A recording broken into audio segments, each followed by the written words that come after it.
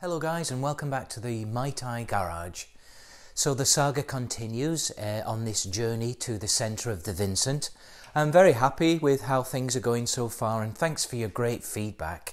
Uh, I really appreciate it and um, yeah as you no doubt have seen so far it's looking really nice certainly in the cylinder heads and the top of the barrels. Um, as you saw, the pistons are new, um, 40 over. I'm just so surprised to see how nice those liners look as well. So next step will be to remove these barrels and take a look see if we can see inside this crankcase just to see what the, the crank looks like. And then um, thank you to my friend Ted. Uh, he's very kindly loaned me um, a couple of piston clamps as well. So we will be using those uh, to return uh, the pistons into the barrel when they go back on again. But uh, so let's get started with this.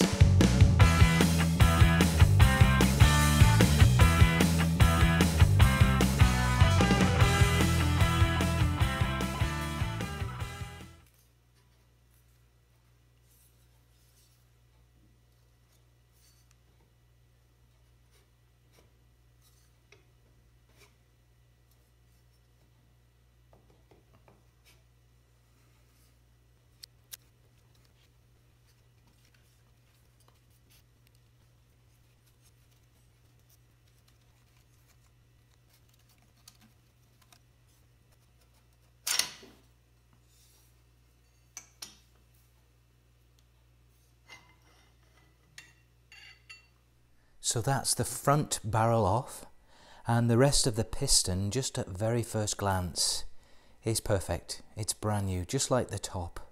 So managed to protect that paper gasket as well if you saw that. I didn't want to have to replace it. I will, I mean they're, they're cheap, but uh, um, let's take a look at the piston, at the liner, at the bore of the, of the barrel and see if we can now see inside that crankcase to see what's going on, just to see what it looks like. Starting with the barrel, or the muff, this is called the muff in Vincent language, um, and then we're looking at the liner inside. You can see it's really nice condition. And we saw that a little bit with the bore scope when we put that in through the spark plug hole, but it just looks magic, doesn't it? Um, very, very happy with this. They may even be new, I'm not sure.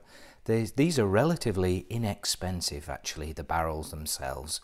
Um, I'm, I'm curious as to why the pistons are 40 over if there was going to be a rebore. Because um, normally you'd just go back to a standard size liner, right, with a standard size piston. And then moving on to the piston itself, it looks beautiful, doesn't it? Uh, VOC, Vincent Owners Club. So great, it's directly from the Spares Company and uh, it's just perfect. I mean, the, the piston looks absolutely brand new. So next, let's take a look down that cavity.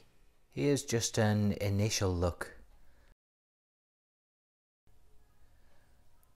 at the crankshaft.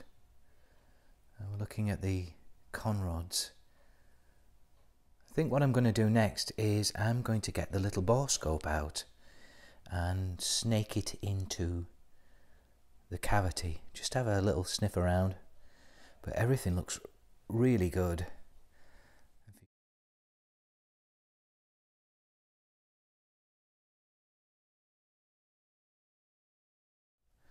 The conrod looks very good. They look like new, don't they? Little scratch there, but that's not too bad.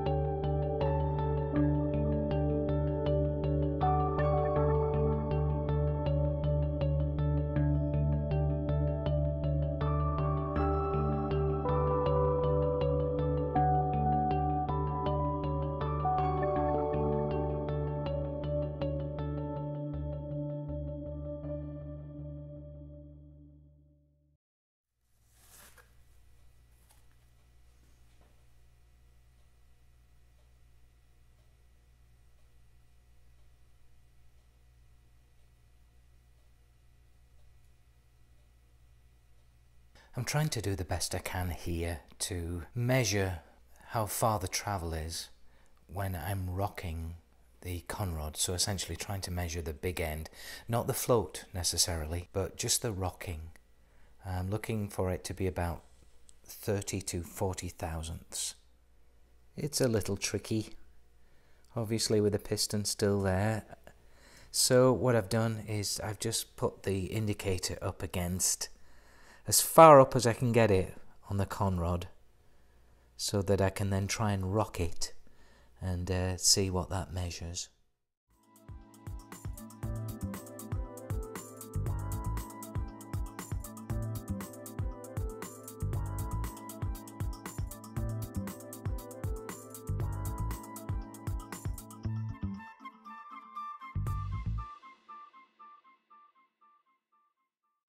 So I've made an executive decision.